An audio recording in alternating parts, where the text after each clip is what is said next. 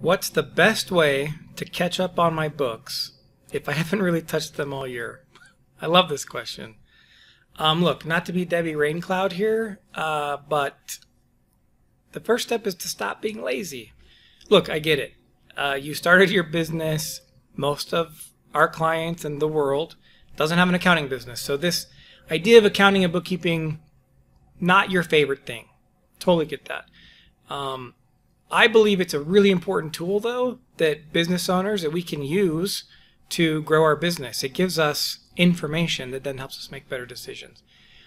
Uh, honestly, the answer is you, you got to get it done. It, it's got to get done. So, a couple things I would think about. First, do I have some cash flow that I can use to pay someone to do my bookkeeping, including the catch up work?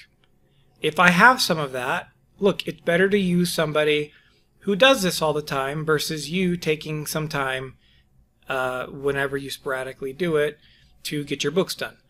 Um, consistency is better, and having someone skilled in it is better.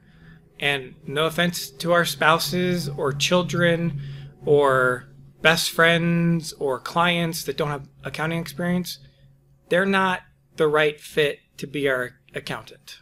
Okay? Um, I've seen that a lot. Uh, so that's the first thing. Let's.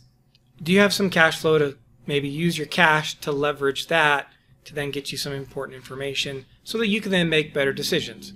Because um, obviously, based on the question, if you fit into the criteria of I haven't really touched my books, how do I get caught up? That means you're not using your books to make financial decisions. Um, another great thing to always do, kind of when it comes to any financial uh, decision is always review your expenses. Um, in my book, Mike, uh, in my book Profit First for Micro Gyms, I have an entire chapter on how to analyze expenses, and there's nine questions, and I love the nine questions.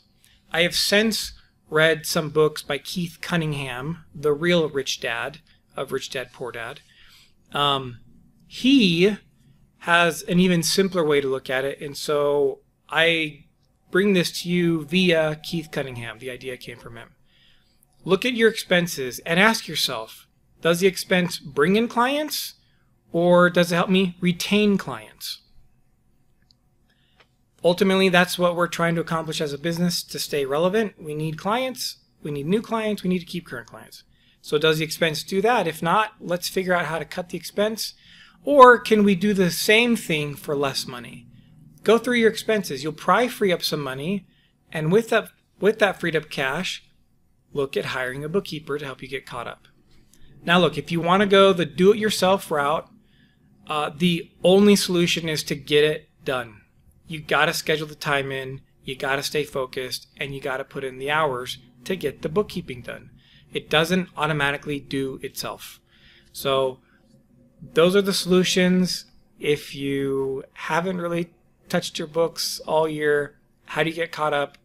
Either you just have to do it if you can do it yourself, or you got to find the cash flow to pay someone to do it.